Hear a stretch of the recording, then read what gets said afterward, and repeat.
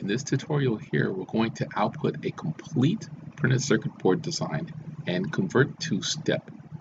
And again, with ACE 3D, you can also convert to other various formats such as ACIS or IGES or what have you, but we're going to use STEP in this case. First for the import, I'll go ahead and select Gerber, which will be the format that my printed circuit boards are in. And for export, I'll choose STEP. Now, one nice thing about ACE is that as you're selecting your folder where your Gerber files may exist, actually we'll use the fab examples because it's actually drill. Okay, not only does it load in the Gerber files, but also will simultaneously load in drill files. So you don't have to worry about individually separating, oh, should I load the Gerbers, the drills, or whatever. You just select the, into all the files and let ACE figure it out. So at this point, these are the settings for Gerber. Press next. Here I can go ahead and assign uh, default settings. What I like to do is usually assign a very small minimum line segment in the event there's, it just keeps the data a little smaller and more robust, especially for printed circuit design. If you're doing IC design, you probably want to set that to zero or something very small. All right, I don't want to show the metals in this. I'm just reviewing the options. A nice thing about ACE that you won't find in any other translator is it actually will detect the profile layer.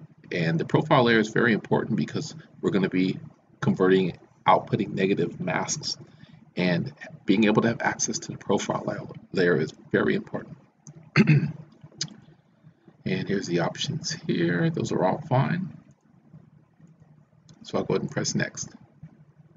At this point, the entire printed circuit board has been imported into ACE. Uh, such as the demo. Let me go ahead and just press it and show you how it appears in the viewer. And again, this is more than just a viewer. You can also perform full editing and any other steps that you require. At this point, all you need to do is build up the layer types and sort the orders. So since the layer type is bottom mask, I know that's going to be a negative mask because in Gerber, 99% of all mask layers are negative.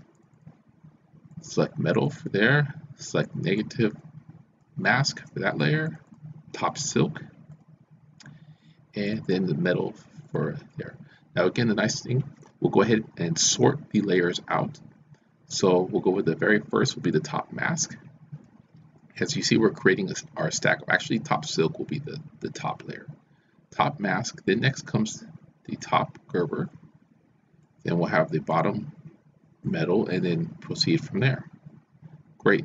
At this point, we need to then assign the thicknesses for each layer.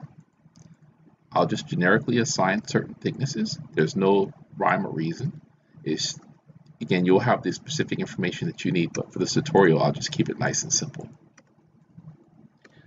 Last thing I like to do, since this is a two-layer board, I like to insert a dielectric in the middle. What you do for that is you click the button Add Dielectric, and you can add a default thickness here. Since we're in millimeters, I'll just select one. You can choose the color and also the name for the dielectric. My dielectric has been added here. Let me sort it so that it exists right between the two metal layers. And if I had a three or, I mean, if I had a four layer board, a six layer board, I would just add another dielectric and place that in the middle, assign the different thicknesses depending on your PCB stack up. At this point, one nice thing I would like to do is my PCB, I'll save this map file so that in the future, if I ever need to perform this exact same type of conversion, I'll have all these settings saved. So I can go ahead and press save, and it automatically saves it. Now what I like to do for aesthetics is just assign, say for instance, like the silk screen, probably it's going to be white. Uh, for the mask layer, we'll just choose a green color. This doesn't have to be perfect, but just to give you a good idea of, of how we'd like the board to appear.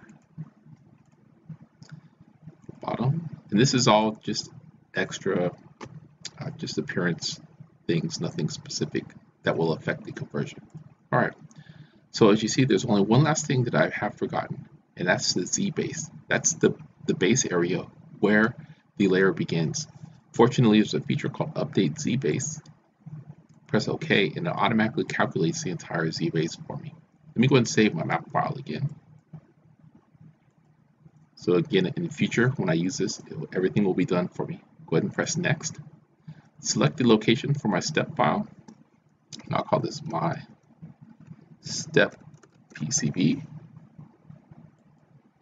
And let ACE3D go ahead and crank away with the calculations and formats and everything else. Okay, now the conversion has been completed. So let's go ahead and view our output as step file inside of Autodesk Inventor. Okay, as you see now, the entire printed circuit board has been imported and is now displayed right inside of Inventor. And you'll see for each of the separate assemblies. You've got the data all set up, so you're completely ready to go from here as far as analysis or anything else that's needed to be performed.